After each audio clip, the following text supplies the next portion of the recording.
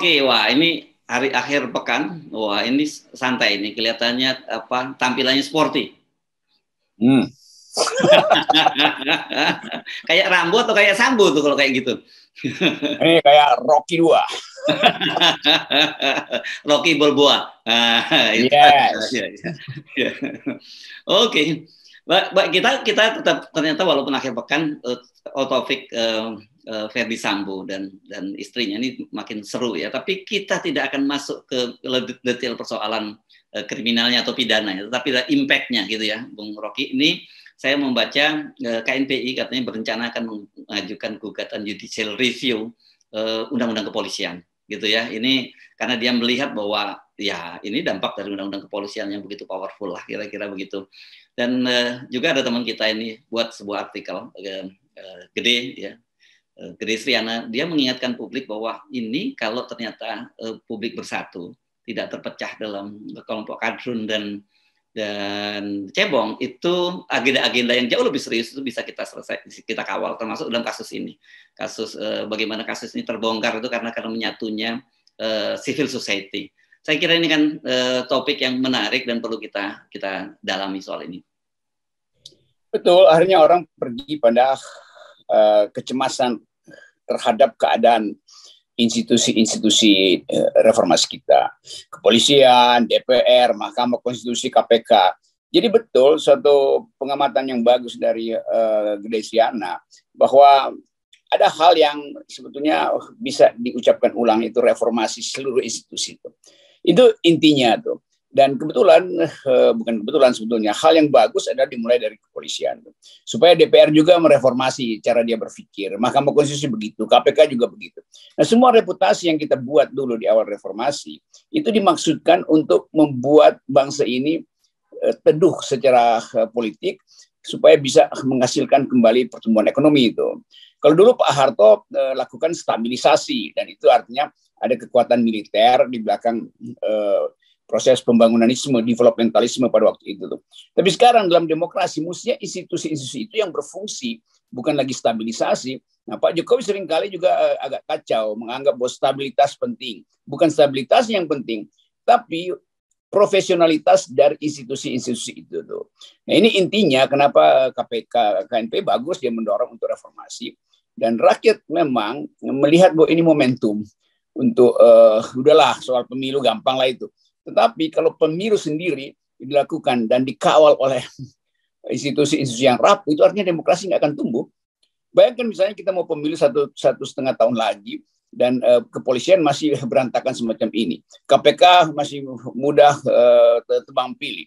Mahkamah Konstitusi nggak paham fungsi konstitusional yang diberikan pada dia, yaitu judicial activism. Jadi kalau pemilu dibuat 2024 nanti dalam keadaan institusi-institusi demokrasi kita rapuh, itu akan menghasilkan juga pemimpin yang juga rapuh gitu kan.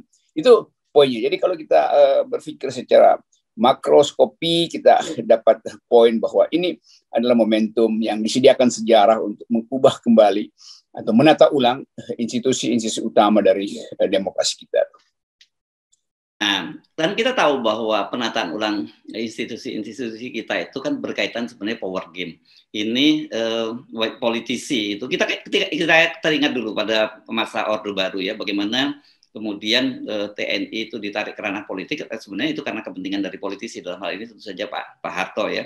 Ada faktor yang sering disebut oleh Dr. Salim Said sebagai faktor push dan pull gitu, faktor daya tarik dan daya dorong internal uh, eh, TNI untuk terlibat dalam uh, ABRI pada waktu itu terlibat dalam day to day politik. Nah sekarang kan juga begitu. Apa yang terjadi ini kita melihat uh, bahwa oke okay, kepolisian juga ditarik-tarik ke ke ranah politik dan ini juga mainan dari para politisi gitu. Ya itu tadi satu paket itu mereformasi kultur politik kita di zaman Orde Baru itu memang ada semangat dunia yang disebut developmentalism yang pasti menyeret tentara tuh. Karena pada waktu itu pasca eh, komunisme uh, tahun 60-an 70-an bahkan di tahun 70-an masih ada soal kemer merah segala macam. Sehingga ada kekhawatiran bahwa kalau tidak stabil negara-negara di Asia Tenggara itu bisa jatuh pada uh, domino efek dari uh, komunisme di uh, Asia Selatan. Tapi kemudian kita masuk dalam era yang betul-betul menganggap bahwa oke, okay, perselisihan ideologi selesai, maka diperlukan reformasi. Nah Pak Harto tentu tahu bahwa ya keadaan udah berubah, karena itu dia nggak paksa lagi untuk uh, meneruskan jabatannya kan. Jadi memang sejarah itu, sorry, kadang kala tiba berdasarkan formulasi-formulasi yang tidak terduga tuh. Ini juga tidak terduga ada kasus uh, Pak Sambo, lalu orang bongkar semua soal yang menyangkut uh, kekacauan dalam institusi uh, uh, kepolisian. Tapi saya tahu ada banyak perwira yang betul-betul profesional, hanya mau belajar dan memahami eh, kepolisian sebagai institusi yang membanggakan. Nah mereka ini justru yang mesti dipromosikan. Kan nanti kita kesulitan juga kalau kita bubarkan semuanya, terus siapa nantinya tuh kacauan. Jadi mulai dari sekarang mungkin Pak Listio bikin semacam uh, panitia pemantau uh, potensi uh, atau sebut aja reformasi jilid 2 Uh, lembaga kepolisian tuh. Nah tentu memang mulai dari merevisi atau mengevaluasi minimal undang-undang tentang kepolisian tuh. Tapi setelah itu kemudian mental dari para politisi juga harus direformasi tuh, yang berupaya untuk memanfaatkan kepolisian sebagai peralatan politik. Itu itu buruknya tuh. Nah kita masuk dalam satu ide baru bahwa eh, kesempatan ini justru memungkinkan perseberangan ideologi antara kader dan cebong itu dihentikan supaya kita fokus pada penataan institusi. Tapi saya masih melihat beberapa kecenderungan untuk uh, favoritisme pada satu kelompok dalam kepolisian dan itu beberapa potensi yang sebetulnya harus dihasilkan ulang itu kemudian tercegah oleh uh, ketakutan dari kelompok-kelompok ini, kelompok masyarakat sipil terutama, yang seolah-olah kehilangan akses pada kepolisian. Padahal kita memang ingin supaya kepolisian itu tidak punya akses ke mana-mana selain pada urusan ketertiban kan. Nah, jadi itu masyarakat sipil nggak boleh juga numpang pada kepolisian, apalagi uh, masyarakat politik, supaya betul-betul polisi itu tampil secara profesional. Itu poinnya. Ya, kalau kita belajar dari reformasi atau waktu itu disebutnya uh, apa uh, di TNI atau uh, ABRI itu waktu itu back to basic gitu ya, Bung Rocky. Itu kan ada faktor uh, tuntutan, faktor juga push dan faktor uh, pull juga ya. Faktor dari publik juga ada keinginan agar uh, eh, TNI tidak lagi menjadi uh, alat kekuasaan dari uh, penguasa begitu dan juga tidak terlibat dalam day to day politik dari internal uh, TNI kita kenal orang-orang seperti SBY orang Agus Wijoyo terus kemudian uh, uh, juga Agus Wirahadi Kusuma dan teman-teman yang lain itu yang ter mereka terwesternisasi, terwesternisasi gitu ya dan mereka melihat bahwa memang praktek-praktek dalam dunia demokrasi itu under civilian control. Dan tadi Anda melihat bahwa sebenarnya potensi yang sama itu juga ada di di polisian. Ya betul, kita ingat uh, pada waktu itu menemukan istilah back to basic aja itu supaya nggak uh, back to barak gitu, nggak kembali ke barak itu artinya seolah tentara itu nggak punya fungsi lain selain pertahanan tuh. Tapi tentara Indonesia punya punya sejarah lain yaitu tentara perjuangan, tentara rakyat. Karena itu dipilihlah eh, kembali ke basic bukan kembali ke barak. Kalau kembali ke barak itu betul-betul profesional tentara Amerika, tentara barat itu. Jadi kita mau ingat kembali, demikian juga soal kepolisian. Kepolisian itu dibentuk di dalam upaya untuk uh, menggantikan polisi-polisi Belanda yang juga beroperasi mengintai rakyat secara uh, polisional. Jadi betul bahwa uh, reformasi TNI udah berhasil dan uh, di ujungnya masih ada semacam upaya partai putih untuk punya akses pada beberapa tokoh uh, eh, TNI dalam pertandingan atau persaingan untuk jadi uh, panglima. Demikian juga di kepolisian tuh. Jadi sekarang kita dapat satu momentum untuk betul-betul yang disebut sebagai polisi itu adalah pelayan publik, pelayan masyarakat. Dan harus diterangkan bahwa polisi itu adalah sipil yang dipersenjatai gitu. Jadi dasarnya dia adalah sipil, bukan karena senjata maka orang takut, justru karena dia sipil orang hormati, karena orang hargai maka diberi dia senjata tuh. Kan itu dasarnya tuh. Jadi beda dengan tentara yang betul-betul peralatan utama dia adalah senjata. Polisi peralatan utamanya bukan bukan senjata tetapi bahasa. Nah, itu bedanya tuh. Nah, kalau bahasa polisi sekarang mengancam atau uh, sering kali terlihat arogan itu juga bukan fungsi yang betul tuh. Nah, kita tahu bahwa beberapa uh, uh, sebutan satu generasi di dalam kepolisian yang berupaya untuk mengembalikan polisi pada citra yang sipil tapi sekaligus berwibawa. Nah, kewibawaan itu yang diminta oleh publik bukan bukan polisi uh, memperlengkapi senjatanya. Ada section-section khusus kepada kepolisian yang memang harus dipersenjatai lengkap. Tapi secara umum institusi itu institusi sipil. Oke, nah jadi ini sekarang eh, ke, kita dorong ke NPI ya untuk melakukan itu menguji eh, uji materi ke eh, Mahkamah Konstitusi. Pertanyaannya nanti orang skeptis lagi terhadap Mahkamah Konstitusi. Nah itu bercampur semua. Kita minta uh, uh, Mahkamah Konstitusi untuk membuka pikirannya hmm. karena ada problem yang macam-macam. Tapi justru kita lagi nggak berdaya pada Mahkamah Konstitusi. Jadi keadaan kita ada di dalam dilema itu. Dilema itu bisa kita kita atasi kalau ada kesepakatan masyarakat sipil untuk mendorong terus proses ini. Maka Mahkamah Konstitusi mau mau keras kepala itu akan dianggap sebagai mahkamah dungu kalau nggak mau memperhatikan uh, pikiran publik. Karena publik sekarang uh, bahkan uh, keinginan untuk cepat-cepat melihat hasil reformasi uh, polisi itu itu yang eh, harus didahulukan daripada eh, putar-putar soal sampo yang memang udah ada proses hukumnya kan. Ya, ya, ya. Dan dan sebenarnya ini ya, itu kita juga diingatkan buat betapa dahsyatnya sebenarnya potensi yang disebut sebagai people power ya. Sebenarnya kan fenomena yang terjadi pada pada Sambo ini kan fenomena people power juga sesungguhnya. Nah, betul itu. Ya. Jadi opini yang digiring ke satu isu dan isu itu betul-betul masuk dalam batin publik itu nggak mungkin dicegah tuh. Hmm. Itu poinnya tuh. Juga kemarin uh, buruh, buruh uh, kemarin juga ada yang mengaku ya nggak akan terjadi. Ternyata uh, saudara Jumhur itu bisa memimpin.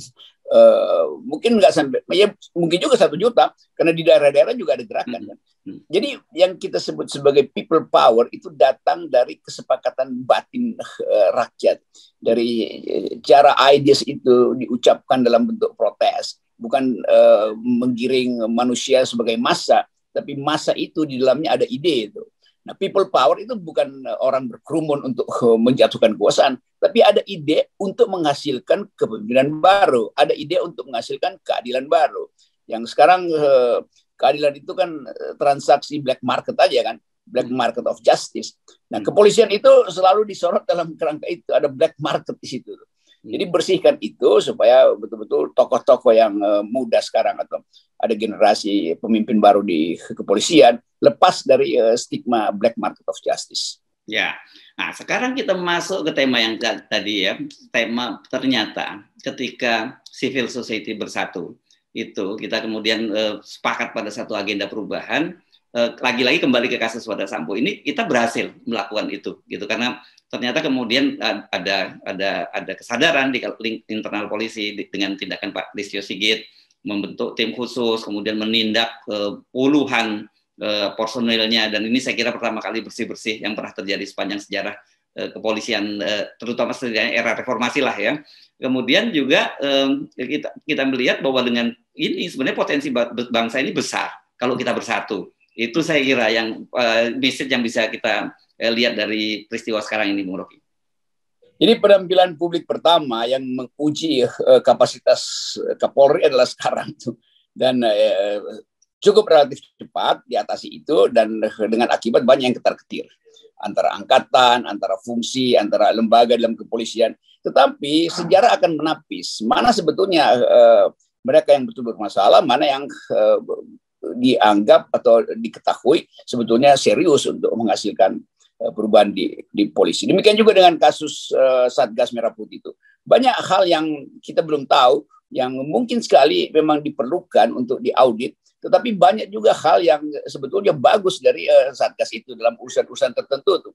Dan semua orang akhirnya merasa ini bahaya nih kalau dibongkar semuanya itu artinya uh, semacam revolusi institusi habis-habisan. Saya kira enggak tuh. Karena publik juga tahu mana polisi yang terlibat dalam uh, kekacauan black market of justice, mana polisi yang memang betul-betul ingin memanfaatkan uh, status dari satgas itu sebetulnya untuk memelihara perdamaian, untuk memberi pendidikan pada uh, rakyat di daerah. Kan saya tahu banyak betul polisi yang jadi pendidik, jadi guru di Papua dalam upaya untuk mengeratkan bangsa itu dan sangat mungkin juga itu dana-dana dari satgas yang memang tidak mungkin dianggarkan itu. Tetapi sekali lagi istilah satgas khusus itu yang menjadi tanda tanya tuh. Jadi fungsinya memang yang harus di, di, dibetulkan supaya nggak jadi uh, semacam sarang semua orang dapat dana dari satgas itu. Dan itu yang beredar sekarang di masyarakat dan itu itu buruknya kalau uh, keterlibatan tokoh-tokoh yang sekarang lagi uh, mungkin cemas-cemas itu menyebabkan proses pembuktian Sambo itu juga tertutup. Jadi sekaligus kita anggap bahwa bersih-bersih itu dalam rangka untuk memisahkan mana polisi bagus, mana polisi buruk. Itu kira-kira tuh. Dan, dan satu soal yang saya kira menurut saya ini mengembirakan kita ternyata ter, ketika kita bersatu dalam uh, bukan hanya kita bersatu ternyata bangsa kita ini masih bisa bersatu pada satu titik itu kita ketika kita bicara soal yang hal yang bersifat imparsial gitu ya. Nah ini yes. saya kira ini modal yang bagus yang seharusnya ini eh, yang, eh, yang ke depan harus kita lebih utamakan ketimbang sekarang pembelahan ini dan kita tahu kan sebenarnya pembelahan-pembelahan ini di belakangnya juga ada kepentingan para uh, para politisi, ada yang kelompok-kelompok yang memang sengaja menjaga status quo semacam ini untuk keuntungan politik. Ya, kita ingin agar supaya ada wise guys-nya di polisi itu atau good cop-nya. Dan itu yang sedang kita cari. Nah, mereka ini yang mesti uh, kita rawat supaya nggak diincar oleh politisi kan. Kan itu bahayanya dan buruknya kalau politisi selalu ingin punya akses pada uh, peralatan negara tuh. Ya politisi di partai aja kan kalau politisi bermutu dia bisa pengaruhi kebijakan lewat kampanye, lewat uh, parlemen bukan dengan masuk buat ngacak-ngacak dan uh, minta jatah atau bahkan uh, bersekongkol dengan oknum-oknum uh, kepolisian. Jadi ini yang sekarang dimengerti oleh masyarakat sipil yang akhirnya bersatu untuk memuliakan kembali kepolisian. Jadi temanya memuliakan kembali kepolisian, meng mengambil kembali marwah yang yang di, diacak-acak oleh partai politik, diacak-acak oleh oligarki, diacak-acak oleh macam-macam faktor.